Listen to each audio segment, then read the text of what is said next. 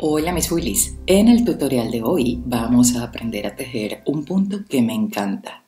Para empezar, escucha el nombre, punto escalera de la bruja. Una de las cosas mejores que tiene es que es un punto de encaje que se teje en una sola vuelta o hilera, es decir, la misma hilera se repite desde el comienzo hasta el final del proyecto. Súper fácil de tejer, solo conlleva dos pasos, nada estrambótico ni complicado. Es reversible e, y también exactamente igual por ambos lados del tejido. Mira, así se vería la cara del revés. Así que esta muestra está hecha en lana cashmere, con lo cual puedes hacer con él una bufanda de invierno, pero si cambias de lana a lino o algodón, pues puedes tejer perfectamente una de verano. Además, esta muestra está bloqueada, de manera de que no se enrosque el tejido ni se doble, pero si quieres estar mucho más seguro o segura, pues entonces añade un borde por todos los lados del, de la bufanda, por ejemplo, o del cuello infinito o lo que quieras tejer. Súper fácil, créeme, merece la pena. Y además te lo explico según tu forma de tejer, en estilo inglés y en estilo continental. Así que busca tus agujas y vamos a tejer. Lo primero que tenemos que hacer es montar un número de puntos par. Por ejemplo, 14 puntos. Ese número de puntos incluye los dos puntos de borde, el primero y el último, que se van a tejer del derecho en todas las vueltas.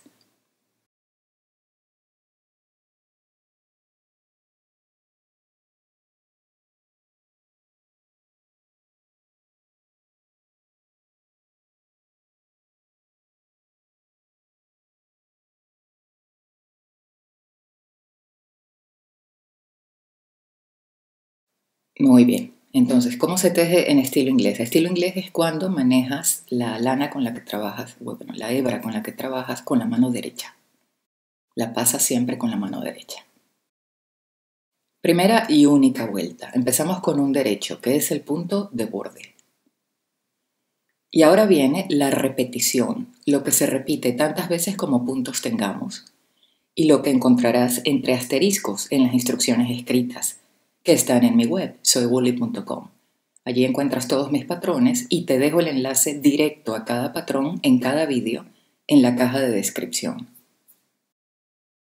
Entonces la repetición es lazada o hebra al frente, dos puntos juntos del derecho. Asegúrate de tomar los dos y tejerlos juntos del derecho. Y eso es todo. Repetimos, lazada, dos juntos derecho.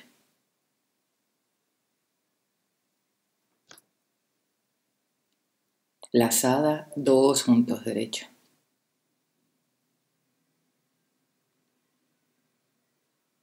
Lazada, dos juntos derecho. Súper fácil. En esta primera vuelta, si no montas los puntos flojos, cuesta un poquito más tomar los dos puntos juntos del derecho, pero después eso no vuelve a pasar. También ayuda mucho tener agujas de punta afilada.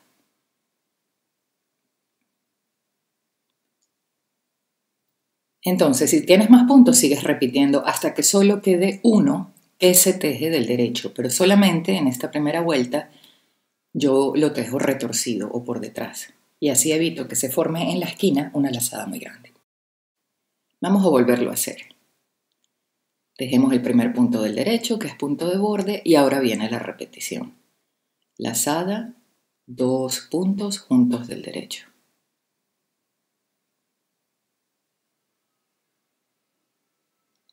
Lazada, dos puntos juntos del derecho. Lazada, dos puntos juntos del derecho. Lazada, dos puntos derecho.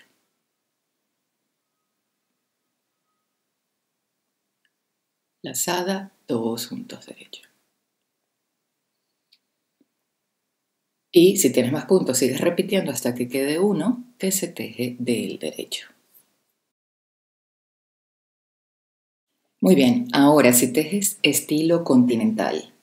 El continental es cuando sostienes siempre la hebra con la que trabajas en la mano izquierda.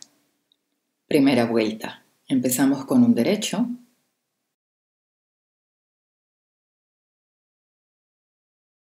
Y ahora viene la repetición. Lazada o hebra al frente, dos puntos juntos del derecho. Lazada, dos puntos derecho. Lazada, dos puntos derecho. Y así hasta el final. Lazada, dos puntos derecho. Lazada, dos puntos derecho. Siempre tomamos la lazada y el punto que tejimos. Si tienes más puntos, sigues repitiendo hasta que quede uno que se teje del derecho.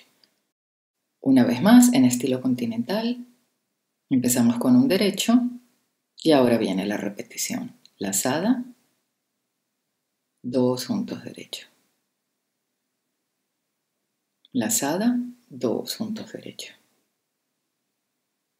Lazada, dos juntos del derecho.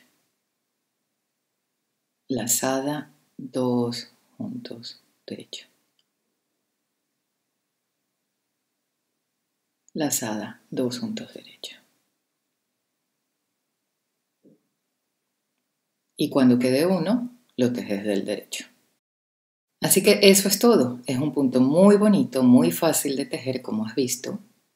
Puedes hacer muchos tipos de prenda con él, incluso un top de primavera-verano, un suéter, una chaqueta.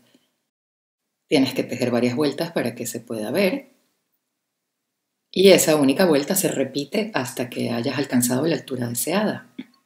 Al finalizar, Cierras todos los puntos del derecho por cualquiera de las dos caras, la que hayas escogido que sea la cara del derecho.